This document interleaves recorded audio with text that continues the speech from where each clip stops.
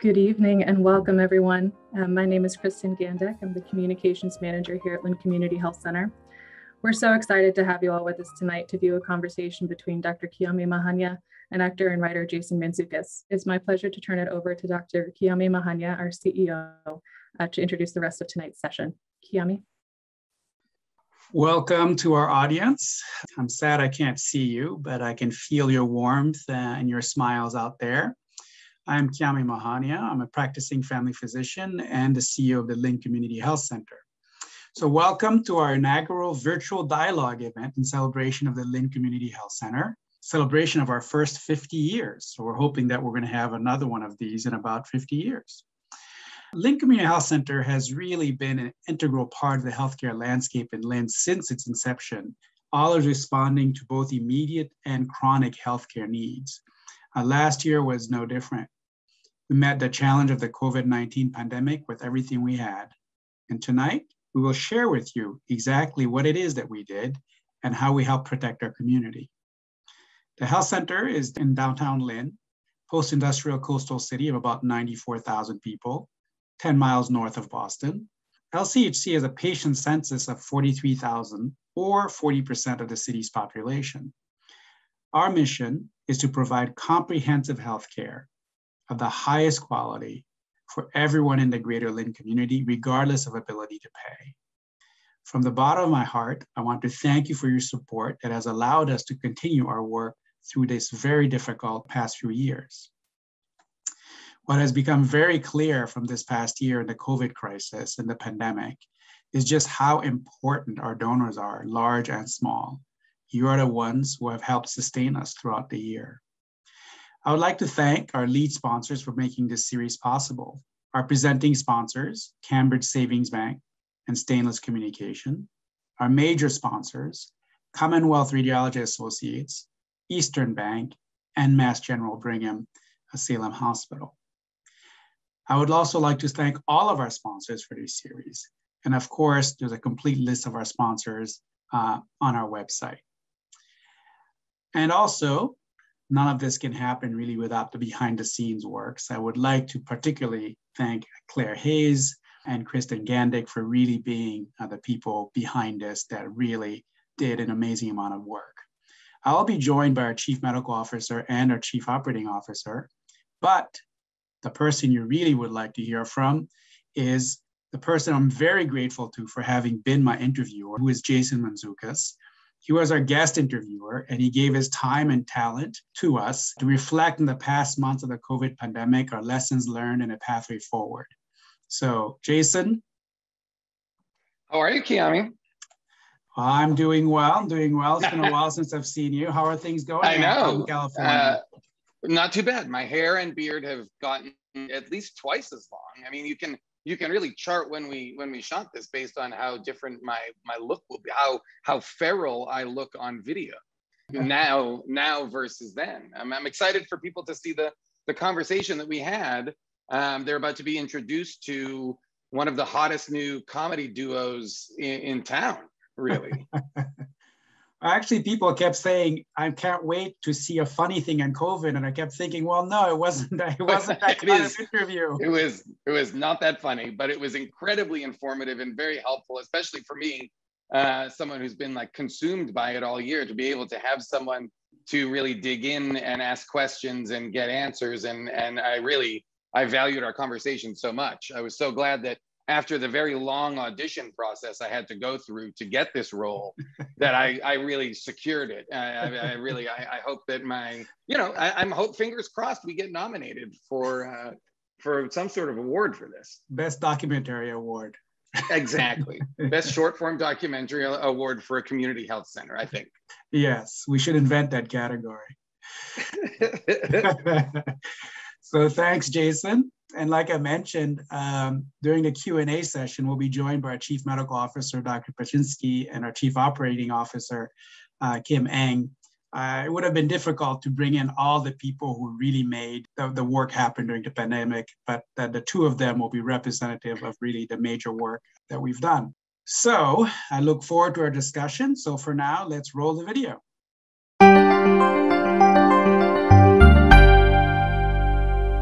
Hello, everyone. I'm Jason Mantzoukas, and I'm excited to be here today to interview Dr. Kiame Mahaniah, a practicing physician and the Chief Executive Officer at the Lynn Community Health Center in Lynn, Massachusetts. 2021 marks the health center's 50th anniversary, and this is the first in a series of videos to celebrate the significant impact of this organization. I might seem like an unlikely choice as an interviewer, but rest assured, there is a connection here. My father, Bill Mantzoukas, was one of the founders of the Lynn Community Health Center in 1971 and served as its first executive director. I think I've been to almost every physical iteration of the Lynn Community Health Center, so I am very delighted to be here virtually to have this conversation. Jason, I'm very excited uh, that you're here. I'm even doubly excited because of the relationship uh, with your father, who's been a mentor of mine for many years. And I'm very excited about this conversation as well. It's been a wild, unprecedented year this year, the year of COVID, uh, as well as many other things that we're going to discuss in this next talk. The pandemic has laid bare many of the deep injustices in our society and specifically in our healthcare systems. I know that March 4th of last year, 2020, the Lynn Community Health Center launched its emergency operations plan in response to the COVID 19 pandemic. Um, as you kind of saw this whole thing unfolding, how were you planning for it and how has it kind of come to pass this last year?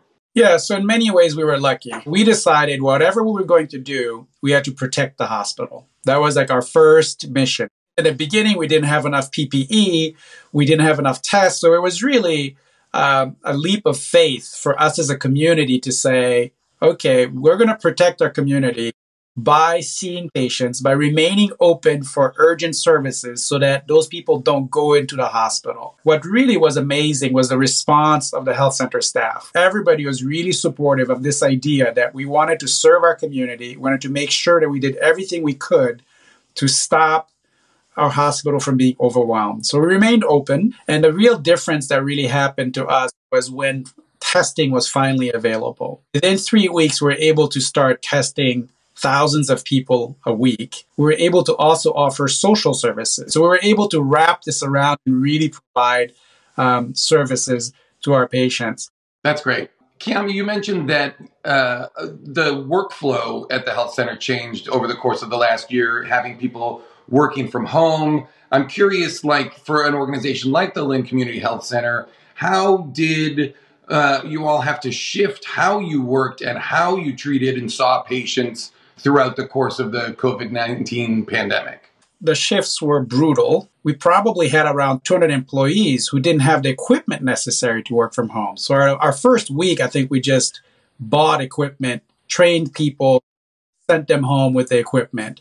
Um, and then we had to identify okay, which of our services are we allowed to do remotely, and which of our services can we not do remotely, and we have to either do in person or stop doing. We also knew that there was some work we just wouldn't be able to do, meaning, how do we repurpose those employees? One of the things we really wanted to avoid is as this economic crisis unfolded, we didn't want to add another financial dimension to people's anxiety. So, as we were repurposing people and redesigning their work, we essentially had people doing things that they never would have imagined doing even just 10 days before, just because it allowed us to keep everybody employed and allowed us to keep providing the services.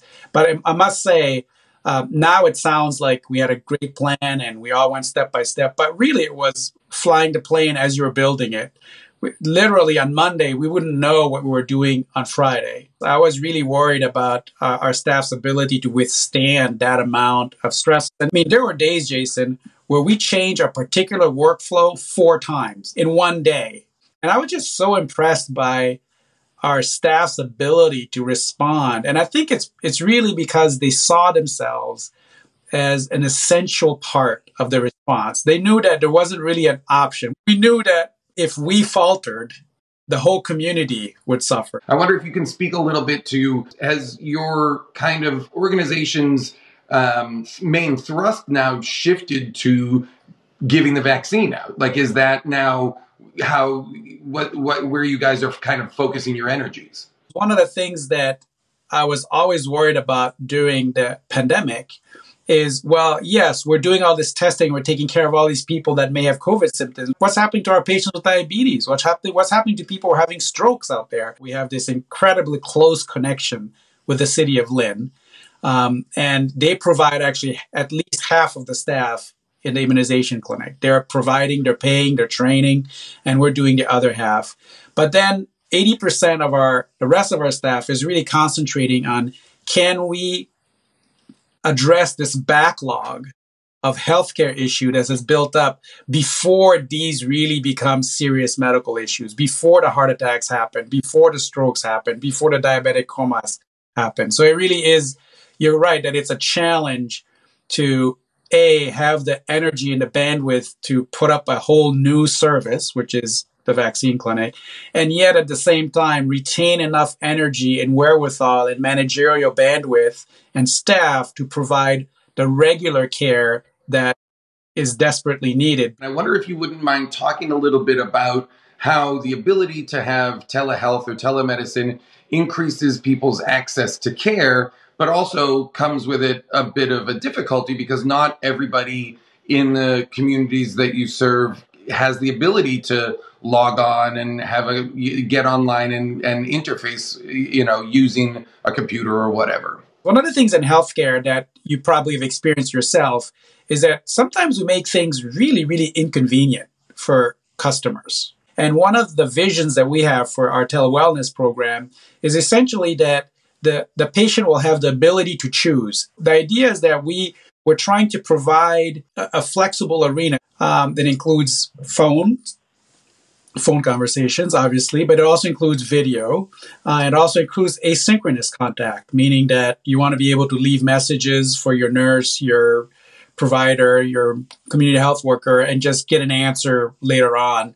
As one of the outgrowths of this, we've really identified the digital divide as something that's really affecting our patients. And we're part of several programs, some grants, some government funded, to get equipment to our patients, to get them the technology, to get them the bandwidth and the training, and but also for the last portion to figure out how will we provide spaces where people can actually have privacy. Should we be having moving vehicles? Should we establish sort of like you know LCHC phone booths where you go in to talk to people? So we're really thinking about that because we don't want this next generation of healthcare to increase the inequities uh, that exist. So we really want to make sure that as we're moving to this next generation of healthcare, we are actually making things better and not worse. Are you taking tools or workflows from this year and saying, oh, this is actually a, a good way to think about things moving forward? You know, uh, an interesting way, whether it's technologically or, or whatever, I guess, has it given you new insights into treating people? I think, yes, there are definitely some new, better that that have emerged. Uh, we are definitely thinking about some dramatic changes. And interestingly enough, about 60% of our patients uh, really would prefer not to do telemedicine ever again. But a good 40% of our patients say either I want to stick to telemedicine or televideo or telephones, or I want to have the option of choosing to go to it occasionally. So, yes, we are thinking about it. I know that the COVID 19 pandemic has been just economically devastating, uh, especially in communities like Lynn. And I wonder how the Lynn Community Health Center has reacted to what is, I'm sure, an economic crisis inside of a health crisis. How have you guys responded to that? Lynn is one of the cities with the highest proportion of what's considered essential workers. It's one of the major reasons why in the beginning when we didn't know where our money was going to come from, we decided as a leadership team we were just going to gamble our reserves. We decided we were just going to keep everybody at, employed as much as possible. I just couldn't see us worsening the crisis in the city by laying off 200 people, 300 people. That was really a big way in which we we contributed. I'm sure that's got to be a an enormous part of the organization is predicting where the next kind of difficult thing is going to be and how can you be of service inside of that. Yes, if you look, you know, 50 years ago, and actually your father was at the forefront of this as one of the founders of the health center. At that point, they predicted that mental health was going to be a huge deal, and there, and he and his partner, uh, Dr. Hayes, were actually 30 years ahead of the curve, right? In terms of recognizing how important behavioral health was. I think for us, it's natural to now be thinking, okay, the next crisis is around housing. So how, what do we need to build because whatever medical problems a person has, they do not get better when the person becomes homeless. We are connected enough with our community that we actually hear what's actually impacting them and what's bothering them and where they need us to use our voice uh, to advocate. Um, so I'm, I'm, always worried. Uh, are we really are we really hearing what's happening? How do we know what's happening? How do we know what to advocate for? Um, but at this point, we know that housing is really the next big crisis, and that's where we're focused our advocacy on. So, social justice continues to come up in the headlines surrounding the COVID vaccine rollout. It's just my understanding that in Massachusetts, some local health centers are really being targeted and supported by the state to ensure that the vaccine gets to them and that their supply is available in those cities and those communities. And I'm wondering if you, in a city like Lynn, which I'm sure has a very high COVID positivity rate, how have you guys experienced the vaccine, its rollout in terms of accessibility and all the rest? So, we've been very lucky in the sense that uh, the state has essentially provided us with whatever vaccine that we've asked for. Uh, we've also been enormously lucky in the sense that the city decided to dedicate a huge amount of resources, a significant amount of resources towards vaccination. Massachusetts may be one of the rare states where they decided to prioritize health centers, particularly those who are in hotspots. Overall, we're seeing very good response in terms of um, African American community, Latino community, but obviously it's requiring us to do extra in terms of outreach to make sure that we are calling our patients, particularly those who might be ambivalent. They need that one on one conversation with somebody from their team before they're comfortable uh, allowing themselves to be vaccinated. Well, that is the end of our time. Kiame, this has been an absolute delight. Thank you so much for making the time to talk to me. Thank you so much for all of your thoughtful uh, answers to all of these questions. This has been incredibly informative to me. I've learned a lot. Uh, I hope you all will have me back to do more of these. If anyone is watching in the audience right now and you would like to learn more about the Lynn Community Health Center, how to support it, what it does, please visit lchcnet.org slash donate. Uh, thank you for joining us. Thanks, Kiame, for having me. This was wonderful. Thanks. This was my first prolonged interview, and it was a great experience. So thanks so much, Jason. I think we nailed it. I'm going to be honest. I think we nailed it.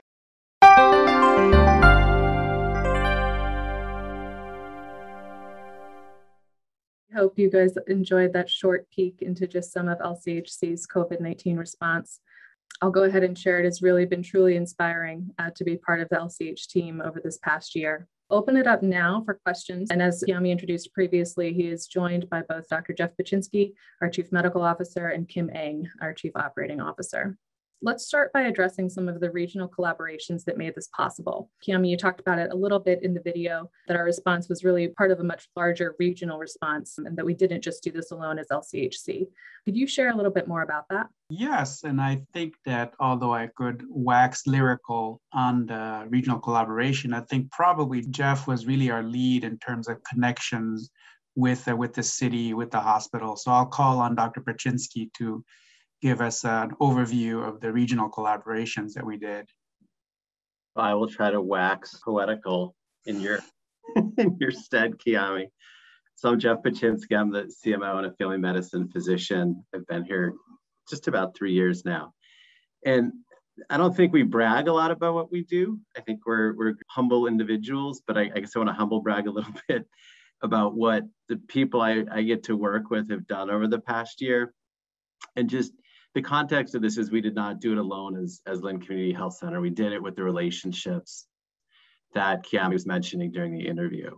And so those started um, at the state level, really, and then the city, the Department of Health, Mass General Brigham, especially Salem Hospital locally, who we work closely with. And the reason we're able to progress the way we did through COVID, there were just two things I want to mention. One was leadership.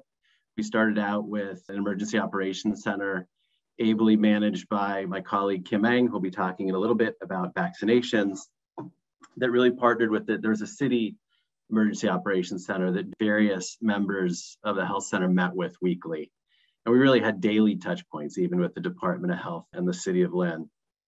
And then also leadership from several areas within our health center. So our school-based health centers, which were closed during the pandemic, several of the providers and staff there really stepped into vital roles that we needed, as well as our urgent care leadership and providers. So did not want to leave them out. And then the second way we really did this was through relationships. Again, with the, the groups I, I mentioned and Kiame had mentioned, but especially our bonds with the, the city. And I think with Mass General Brigham, Salem Hospital have really been strengthened through this as we've thought through, kind of planned what we do and then done it, as well as the Department of Health and even Partners in Health earlier on in the pandemic. So the things that we did as a health center, and this is where I'll try to wax a little bit poetic, I'm not gonna rhyme, but uh, we didn't close, right? So we saw patients throughout the pandemic at our urgent care center. We turned it into a respiratory clinic and changed the entire flow of our, of our health center. Our pediatrics team moved from the main site where they, they reside to the Western Ave, it's about a mile away, and stayed open in order to see those kids that were less than five to make sure they were staying healthy and getting the immunizations they needed. And as you've heard Kiame talk about already, we switched a huge part of what we did to telehealth, being both telephonic and via video, and continue to do that, and we'll continue to do so, although not in the same not in the same percentage. As far as testing, we really focused on testing early on. So we set up trailers. Again, this was with, with help with the city and MGB, but we have trailers in back of the health center where we continue to do testing. Mass General Brigham had a testing van that would do pop-up sites around the city that we did on our own and with Mass General Brigham. To do all this, we needed to set up labs. So set that up through the hospital and then the Broad Institute and then follow up for patients regarding education around quarantine, isolation. Did that with Partners in Health and with our own kind of contact tracing team. So those were huge undertakings that we hadn't, we, nobody had done before, at least at the, the level we had at, the, at this level. And then finally, we opened up testing and quarantine site at Salem High School that Gargi Cooper, who's the med director at our um, recuperative care center, was was an integral part of and did that again with, with the city of Salem and Mass General Brigham and an ambulance company. So those are just some examples of the partnerships and what we've done over the last year. So thanks, Kiame, for giving me the time. No shortage of wonderful relationships to talk about for sure. Um, another another question to start off with, and then I see some are, are coming in question and answer functions. So thank you for those. Another piece that's touched on in the video, and I think a number of us will remember reading the headlines, particularly at spring and last summer, uh, but were some of the accommodations made for healthcare workers and others as a community? Kiame, what were some of those key examples that we had experienced here? It was really a community that made this happen. Yes, I think we, we have very short memories as humans. If you remember April and May of the first months of the pandemic, we didn't have enough equipment that we wanted. We didn't have any vaccine. And actually at the time, I mean, we still we still didn't quite know how it was spread, how fast it spread, how dangerous it was. And so you have to remember that although, uh, as Geoff said, we stayed open and we saw patients, there was a real risk of our employees getting sick. And I think most of our staff had resigned themselves that that was a professional calling and they were they were just going to do it because that's what was necessary. But many of them felt it was beyond a call of duty to expose their families to whatever viruses they might pick up. And surprisingly, this actually didn't start with us, but where we got a call from Salem State uh, University. Uh, I happened to serve on a board with one of the executive team members at Salem State, and they essentially arranged to grant us free of charge their dorms. So essentially, we had as many dorm rooms available as our staff wanted for as long as they wanted. They could stay there two days a week, they could stay there the whole week. Salem State did all the cleaning, they did all the all that backup. So no, that was that was another collaboration that happened. And I can't remember how many people we ended up. I think we only ended up having 40 or 50 people that wanted to stay there more than just one night. Uh, but it was really great to be able to offer that for those who whose family situations required them uh, to not go home for, for the duration of the time that they were working. Thank you. Uh, certainly took a village. I'll open it up to questions from our audience now, uh, and I'll start with the one that does have some upvotes on it um, at the top here. Switching conversations a little bit from testing to vaccines. So many minorities communities are struggling with vaccine update. Are we, and if not, uh, what have we done about it? Even though uh, Geoff and I both carry medical degrees, I like teasing Kim because she is our, our chief engineer. So that's her degree. She's Engineer Eng. You know, her last name is like the first part of her actual title, which I think is very funny. But uh, she was really the one who can of us three could really talk about our vaccine effort and how we've done in terms of racial equity, in terms of percentages. Kim, I'll turn it over to you. Thank you, Kiame. Yeah, I just want to highlight to the partnerships that this took, really partnering with the City of Lynn, the City of Nahant, and MGB, Mass General Brigham. And so far, we've vaccinated over 59% of the City of Lynn, and uh, together have provided on our count, on our side, 74,000 vaccines, and I know it's more that have been administered by MGB and the city of, of Lynn as well. I have some data to share that I think highlights this question, so I'm going to actually share my screen. I think it'll be a little bit easier to see. So this graph just shows our ramp up. Many people probably know that we opened up a large vac site at Lynn Tech, uh, one of the schools, in partnership, like I said, with the City of Lynn, City of Nahant, and MGB. Um, at the peak, we were able to see over 1,400 patients per day and administer vaccines. And you can see here that we've administered over almost 74,000 vaccines to date. 40,000 have had at least a dose one, and 36,000 of those vaccinated at that site have been fully vaccinated. So, really impressive numbers. I think the, the obvious question is the equity question and what are we doing around this? I will highlight two different graphs. The top graph that I'm showing here um, really, we don't have great data on race and ethnicity data across the city of Lynn. We're using Lynn Community Health Center as a surrogate for that. And, and when we look at this equity question, so the top graph represents all of Lynn Community Health Center patients and the racial and ethnicity breakdown of each. And then the bottom represents those that have either started or have been vaccinated. So, what this highlights for us is that there's actually very little disparity if you look at it by grouping. So if I look at the top graph, 51% of our patients are Hispanic, and of those vaccinated, uh, 51.27% represent Hispanic patients. And so I think, and you look at across the board that you see that disparity very little. So, so what does this really mean? If you're a person of color and you're a patient of Lynn Community Health Center, you are getting vaccines in an equitable way. If you're not a Lynn Community Health Center patient, I think what we've seen, um, as you pointed out in your question, that there really is a disparity. If you look at the state data, and just to pull out an example, if you are Hispanic, there's a 15% difference, meaning that 45% of the population of Lynn is Hispanic, but only 30% of those vaccinated in Lynn are Hispanic.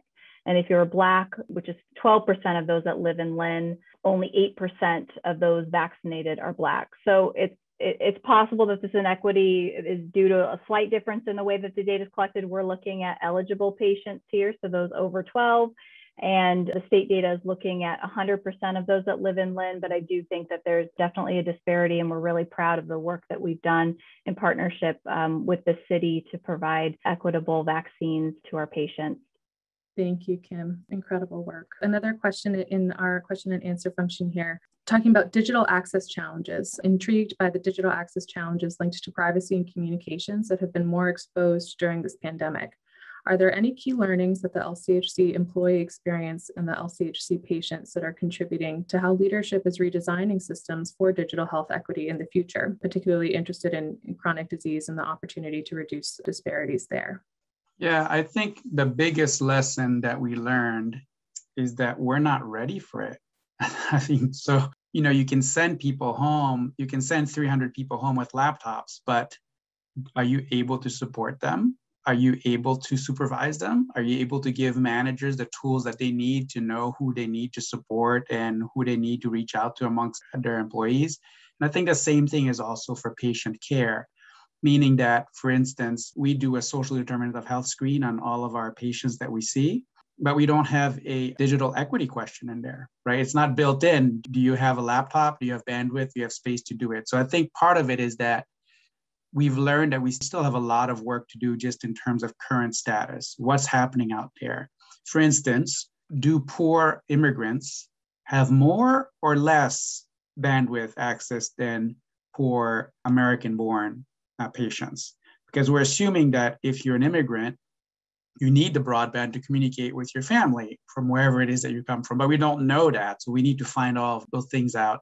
And I think once we know the scale of the inequity, then we can start figuring out what can we do to address it, particularly around chronic disease management. Uh, my, my fantasy is really that people get to choose what they want, meaning that you go to a website, you make your appointment, you get to this, and you decide at that point, do you want it on the phone? Do you want it video? Do you want group? Do you, what do you want? And also beyond just televideo and telephone, can we provide so the next technological jump where we're able to listen to people's heartbeats and we're able to get people's blood pressures, we're able to look into people's eyes and ears all remotely. So that's all things that we're working on. I think what we really learned is that we are not even in pre-K when it comes to providing telehealth services. And that's one of our big ambitions in the coming the coming years is to make sure that we know enough about our patient population that if we start providing significant uh, telehealth services, that there is no inequities. It would really, really be sad if the digital inequity promoted the next big wave of inequities in healthcare. So that's one of the things we're very careful we want to avoid. Thank you, Kiame. It's certainly complex. I think we'll we'll do one more question tonight, and then um, we'll continue with others that come in via email for now. Some questions around homelessness and the coming housing crisis, uh, which Kiame you did mention, I think, in in the interview with Jason earlier. Uh, the Health Center did tremendous work during the pandemic. Finding affordable housing is already a challenge everywhere, and especially in Lynn. Uh, the problem requires long and short-term solutions. Long term, we need more housing. Short term, what do you think is needed through your work that would have the most impact to help patients who are homeless and desperate for help right now? So I think that I mean obviously there's there's a illness wellness sort of balance there, right? Obviously, people who are homeless, who are experiencing homelessness, who need uh, healthcare, we provide. We have mobile teams. We go to the shelter. We have the recuperative care center. So there's some work that we do around there. I really think that where we can have the biggest impact is actually intervening before people become homeless, meaning that there are several of our sort of sister legal agencies in, in Lynn that have the ability to provide legal advice and lawyers for people who are potentially facing eviction. And so the way I really see our contribution is trying to screen 100% of our patients being able to identify those patients who are at risk and immediately referring them to those services, because that really stops the whole eviction process from going on. Typically, most of our patients can't afford to have lawyers, they can't afford to hire good legal advice. So that's where I really see our role. Uh, in, the, in the immediate is how do we identify families who are at risk and we link them up with services that are already well established. We have formal links but through which we can refer people who are at risk. So for instance, I know that in the summer immediately after the, the pandemic started, of the 135 families that we had referred to our partner for Mass Coalition for the Homeless, of those 135 they referred, none of them got evicted. So that's really where I see in terms of immediacy the work that we have to do. Longer term, I see us participating in the advocacy in terms of affordable housing and how do you make that happen? How do we lend our voice, particularly now that our profile has been significantly elevated in the city with the major stakeholders and decision makers and power brokers in the city? How do we use that voice to advocate for longer term policies around housing? So that is a complex question. As we're coming to the end of our time, I just wanted to bring Jason on one last time, bring Jason back on camera. I think he's there. I just wanted to say, Jason, that I can uh, unequivocally say that uh, that was the best interview I've ever had in my life. Of course, it's the only like interview I've had yeah. in my life, but nevertheless, it was the best interview I've had in my life. Oh, thank you. I'm. It was my absolute pleasure. I'm only heartbroken that they cut both of our songs. I thought both both were beautifully rendered, and I can't believe it must have been a licensing issue or something like that. But uh, uh, no, I had a great time talking with you as well. It was so helpful, so informative, and to watch it back now, it's even more uh, impressive and and compelling to to see you dig in and and help contextualize everything that's going on there. So thank you for having me. Thank you. And thank you, Kim and Geoff, not only for being here tonight, but also for those 90 and 100 hour uh, weeks that, that you provided for months on end in order to get us through the COVID crisis. So thanks so much. Thanks so much to our audience who has been uh, watching us and putting in the questions. Thanks again to our sponsors who were able to make this happen. And of course, uh, thanks to Jason and to his father who actually founded the whole health center that even allowed this thing to happen 50 years later. All right. Thank you all very much for joining us this evening. Any closing thoughts uh, from this group? Otherwise, we will post this online and we look forward to you joining us uh, in the future. Thank you so much, everyone. Have a wonderful night.